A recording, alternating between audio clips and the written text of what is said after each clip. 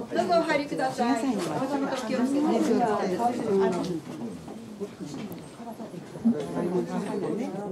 うぞお入りください。かばた、かば、かばたじゃん。あかわのこちらではね、川戸と言いますけれども、西郷州では川田と言いますね。あのご覧のように外側のあの水路を家の中に引き込んで、まあ家の中のあののあのなんていうんですかね、あの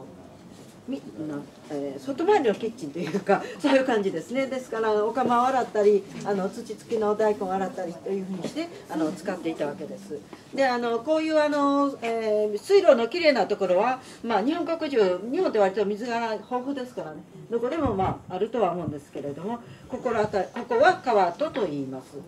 であの時々まあなんていうか今日はいませんけど声がね入ってくるのでもしかしたらあの掴めて食べてはったかもしれません。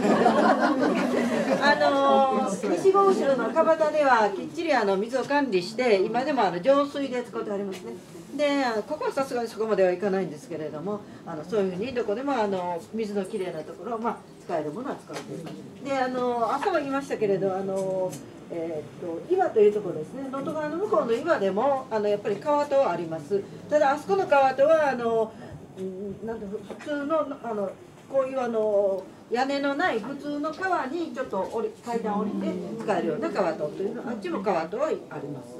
またあのあっちもあの日本遺産ですしあのあっちのガイドさんと面白い人がやりますのでまたいいわ行ってみてください、はい、ではどうぞお入りください。